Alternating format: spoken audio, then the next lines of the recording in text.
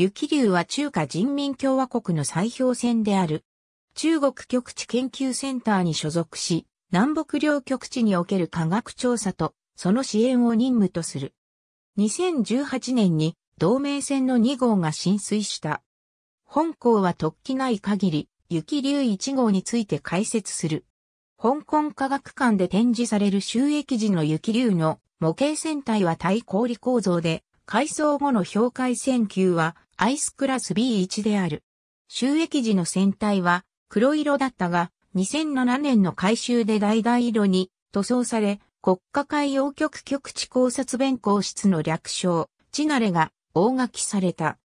40人の乗員と科学者60名を含む観測隊員97名、または乗客が居住でき、船内には海洋物理学、海洋科学、生物学、気象学など各分野にわたる広さ100平方メートルの研究室を備える。貨物層は船首と船体中央にあり、船首と中央部にある6機のクレーンで積み下ろしを行う。船尾には A フレームクレーンを有し、自立型無人潜水機1機を搭載する。主機のディーゼルエンジンで発電して電動機で推進する電気推進で可変ピッチのダクテッドプロペラを駆動し、厚さ1.2メートルの氷海は0.5ノット、厚さ1.1メートルの氷海は1.5ノットで航行可能である。船体後部には格納庫と飛行甲板を有し、ハルビン Z-92 機を搭載できる。2009年4月12日に上海で Z-9 が墜落したため、新たにカモフカ -32 型ヘリコプター、雪高11号が配備された。雪高11号は2011年12月9日に雪流から中山基地に向かう途中で墜落したため、2013年11月6日に後継機のカ -32 雪高12号が配備された。なお、2007年の改装で格納庫上に、レドームと衛星通信用のパラボラアンテナを搭載した。極地科学調査船、雪竜は、北極海仕様の多目的貨物船の一隻として1993年、ウクライナのヘルソン造船所で建造された。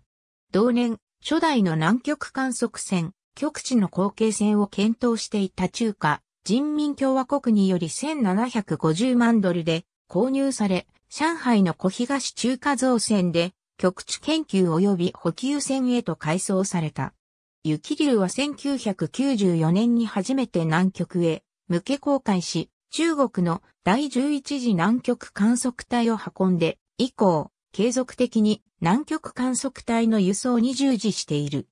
また新たな拠点の開設も雪竜の輸送力を活用して行われており、2005年には南極表彰の最高点ドーム A に中国第3の南極観測拠点を設置するための予備調査に用いる雪上車を運んだほか、2008年にはドーム A に混論基地を建設する第25次南極観測隊と資材を運搬した。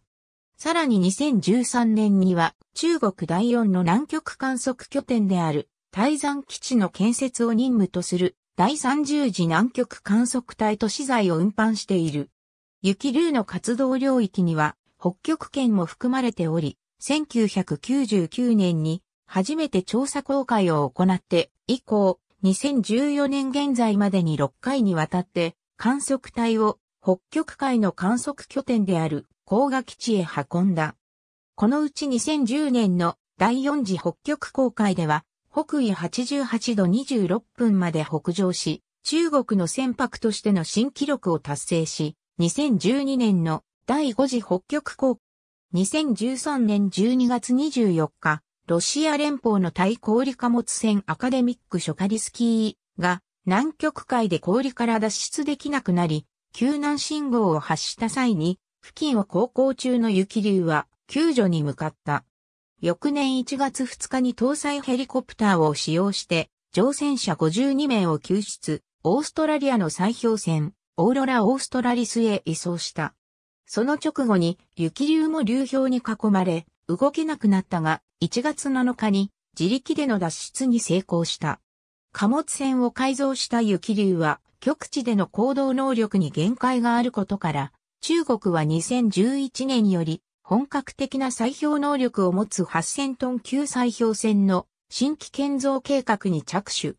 雪流2号が2018年9月10日に浸水した。全長120メートルで、選手、千里両側に砕氷能力を持つ。中国がフィンランド企業と共同で設計し、上海の造船所で検討した。ありがとうございます。